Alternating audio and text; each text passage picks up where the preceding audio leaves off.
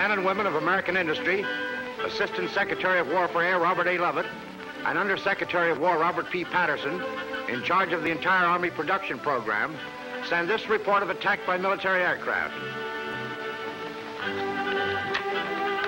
The information it contains, never disclosed before this photographic communique, has to do with an Army bomber of the 2nd Bombardment Group, operating under Navy offshore patrol orders in May 1942 off our east central coast.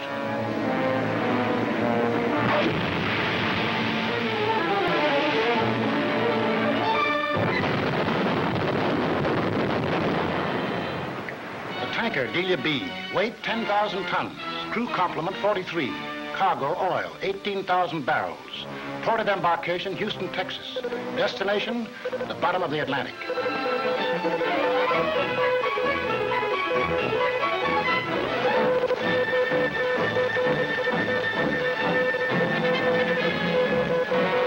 SOS, Delia B attacked by enemy submarine.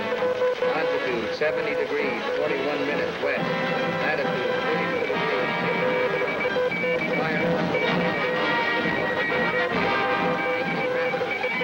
Delia B attacked by enemy submarine. Take necessary action. Yes, sir.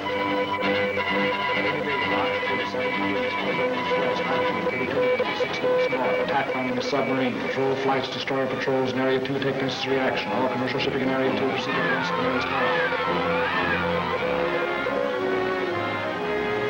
Bomber 112783, one of hundreds of planes flying routine patrols off American shores, day in, day out, a dull job. Nothing happens until it happens so fast you hardly realize it's happening. Average altitude 2,500 feet. Mission to challenge all shipping. Between challenges, the crew strains its eyes, endlessly searching for a periscope, a telltale wake, some sign of the tinfish.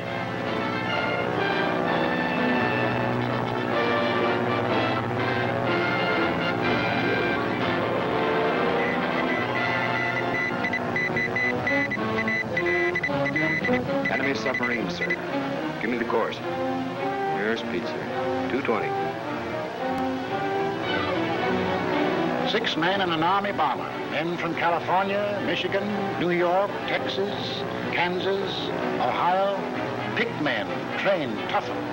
A smoothly functioning part of the ship they fly. Course, 270 degrees. 270.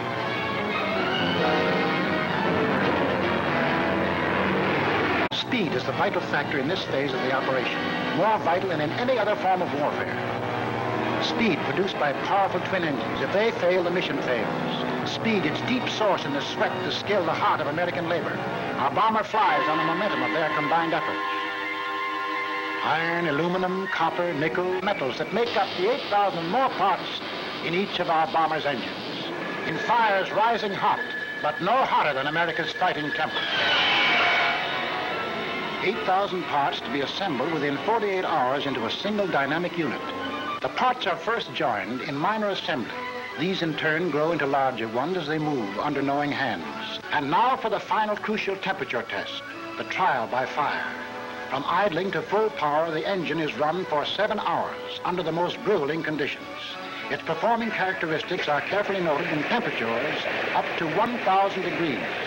This engine is a good one, well up to the job it is doing. Speed, better than 300 miles per hour of it. Speed, the engines have it to give. Can our bomber take it? Was it conceived, designed, constructed to support such tremendous power?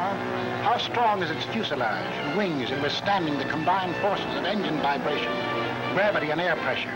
Is there any weakness anywhere? Our bomber is proving the quality of the men and women whose work went into it.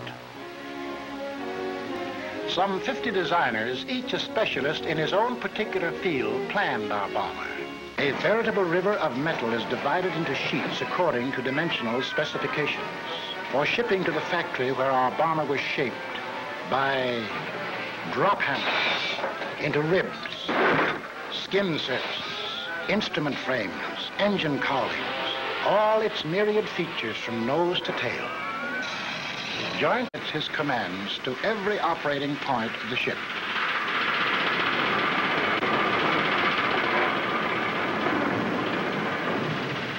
The entire power unit is connected at only four points to the ship itself, points less than an inch in diameter, but their combined strength must be measured.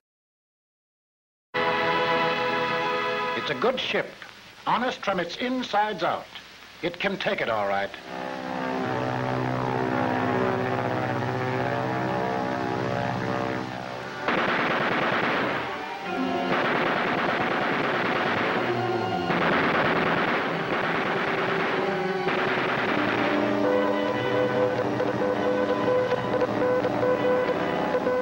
Submachine gunning lifeboats. That means the tin fish has surfaced, and like all fish out of water, is doomed if it remains there too long.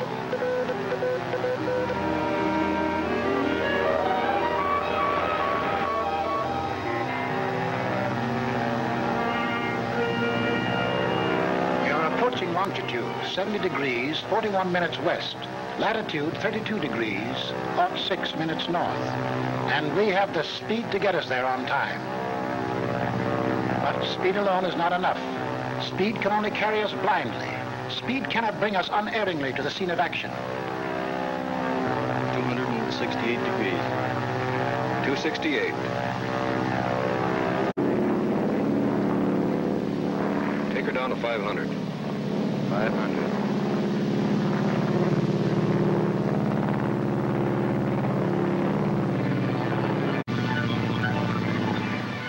Women are good at the job of making these instruments. Delicacy work with wires finer than threads, coiled springs scarcely more than spirals of light, polish surfaces to a satin smoothness, adjust microscopic screws to hair-breadth exactness. Here, there can be no compromise with perfection. These instruments do more than measure. They point their delicately precise needles to American life or death.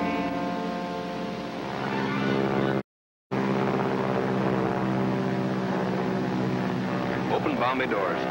Open bomb bay door.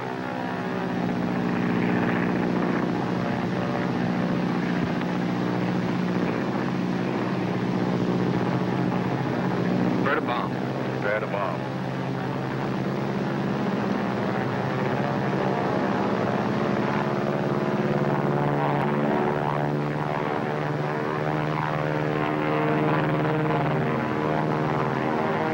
Submarine bombing demands greater accuracy than any other. It calls for an almost direct hit in order to be effective. That takes nerve, skill, perfect coordination. That takes split-second timing, deadly aim.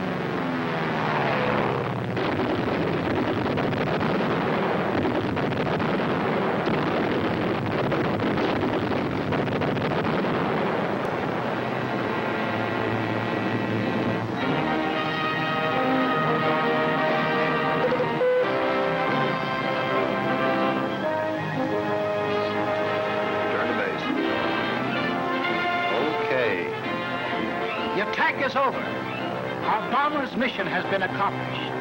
Good work, pilot, co-pilot, bombardier, navigator, radio.